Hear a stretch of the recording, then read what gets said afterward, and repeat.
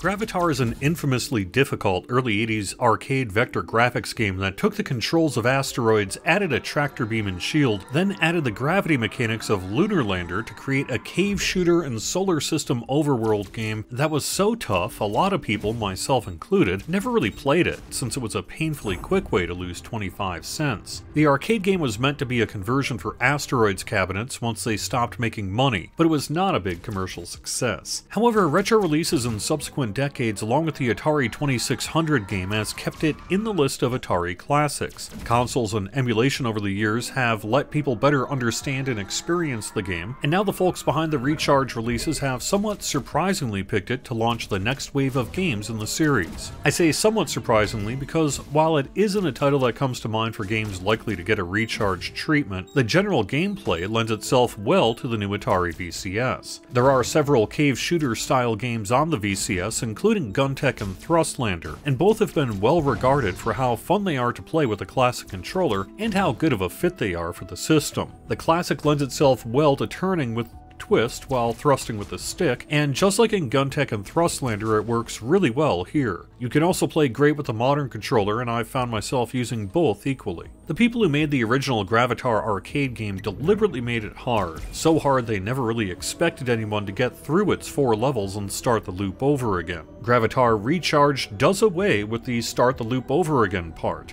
Yes, this game has an ending, even in arcade mode, but it also does away with the quick and frequent deaths and tight-knuckled gameplay of the arcade. Gravitar Recharged is, strangely enough, one of the most chill games on the console. The game is still tough, although it's much more easy than the arcade, but the actual pace is deliberate and generally slow to medium in speed. You will do better by taking your time, aiming carefully, and planning your fight rather than flying into it blind. Musician Megan McDuffie once again provides a soundtrack, and this one is particularly well suited to the paperback sci-fi cover pastel graphics and spacey floaty gameplay. I think it may actually be the soundtrack that brings all of the other slightly changed elements together in a way that works and still feels right for Gravitar. Gone is the option to either clear the solar system or go for the reactor. You have to clear the entirety of each solar system to progress to the next one. There is also a level in each system to gather secret intelligence, which is a nice mechanic to add. As of the time of this recording, no one, or close to it, has completed the game, but I have been told by a representative of the developer that the game does end after completing the fourth solar system, meaning once you beat it, future playthroughs are about getting a better score by completing the game more quickly and accurately.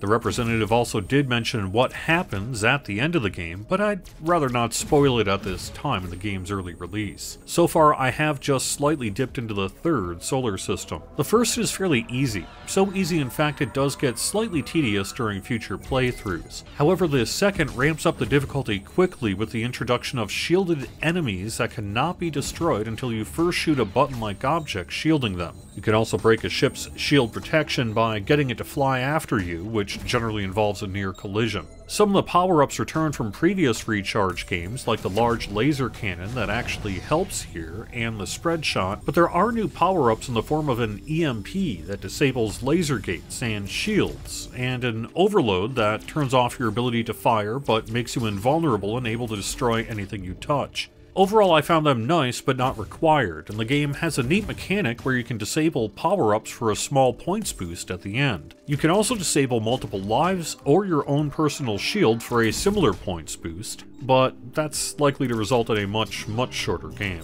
The length of each Gravitar Recharged games is quite long, much longer than any previous game in the Recharge series. I've been averaging about 15 minutes per game, long enough that a few times I've wished there was a save function there is not. There are, however, dozens of missions to run. This is the challenges of previous Recharge games and focuses on activating beacons, destroying enemies, and other objectives from the arcade mode. Somewhat strangely, the leaderboards for missions are cumulative, meaning placement on the leaderboard is largely a reflection of progress through the missions, although eventually placement will mean completing it better than others once the board fills up.